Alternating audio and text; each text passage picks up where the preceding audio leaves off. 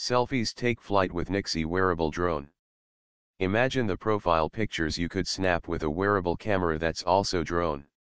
A device that wowed judges at Intel's Make It Wearable contest.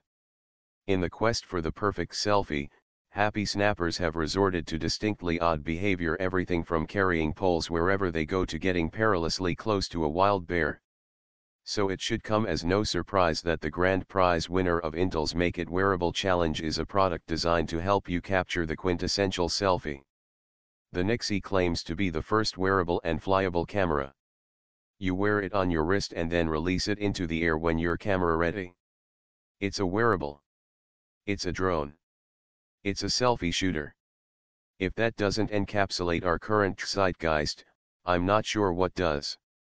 Thousands entered the Intel competition when it kicked off at the Consumer Electronics Show in January, though only 10 were invited to San Francisco for the final round. Judges included Intel CEO Brian Krzanich, tennis diva Venus Williams, as well as executives from luxury brands Louis Vuitton and Rebecca Minkoff. The brain behind Nixie is founder Christoph Kohstall.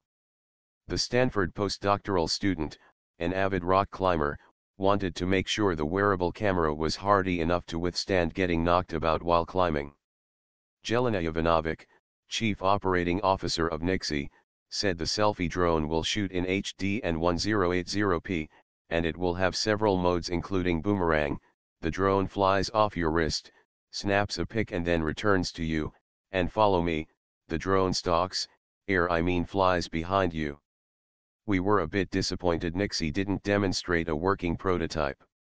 Jovanovic cited intellectual property concerns as the reason behind keeping the device at home. She said the startup is working hard to bring the product to market. The $500,000 in prize money should give them a boost on that front. Just how much will a Nixie run? Jovanovic said that depends on how many they sell. Expected to initially cost a bit more than a GoPro portable video camera, but if the Nixie fares well, the price should be comparable to a point and shoot camera.